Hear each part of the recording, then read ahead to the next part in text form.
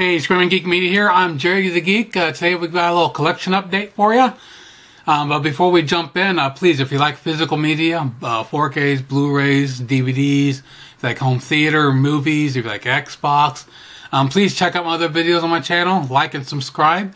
Uh, turn your bell notifications on. So let's dive into uh, my collection update with uh, what I picked up in the month of May.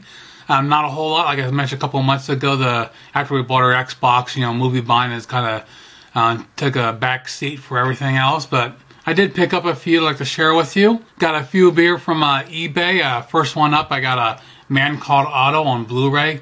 Very good movie. I just recently put up a review of that. You can check out. Equalizer 2 in 4K. Uh, Magic Mike's Last Dance on Blu-ray.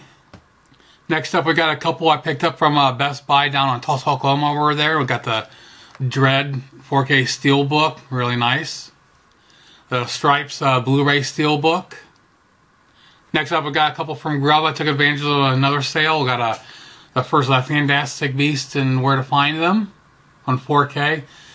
Since I had the new ones on 4K, the this one I had on Blu-ray, so I thought I had to match up the set for 4K. So finally got it. And finally upgraded from Blu-ray, got to the 4K of Man of Steel.